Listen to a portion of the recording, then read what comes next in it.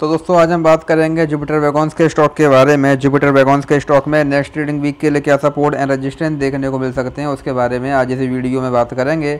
हम अगर यहाँ पर स्टॉक की बात करें तो हम देखेंगे जो ये स्टॉक है, ये हमको पहले यहाँ पर लगातार क्लियर अप ट्रेंड में देखने को मिल रहा था। पहले हमको यहाँ पर स्टॉक में हाइयर हाई हाइयर लो वाला पैटर्न यहाँ पर देखने को मिल रहा था, लेकिन फिर स्टॉक ने यहाँ पर रजिस्टेंस लिया, जिसके बाद से अभी अगेन हमको यहाँ पर स्टॉक में लगातार गिरावट देखने को मिली है।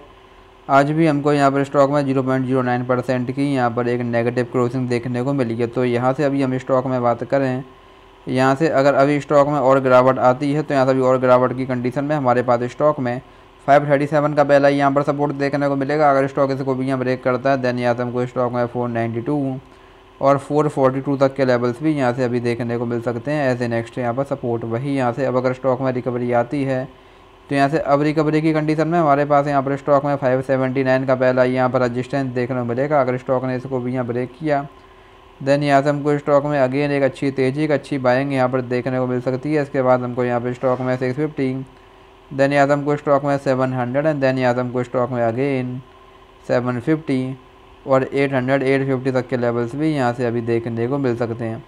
तो स्टॉक में कुछ इंपॉर्टेंट लेवल्स हैं, आप इन पर ध्यान दे सकते हैं। बाकी वीडियो में कोई बाय सेल होल्डिंग सलाह नहीं है। वीडियो केवल एजुकेशनल पर्पज़ के लिए धन्यवाद।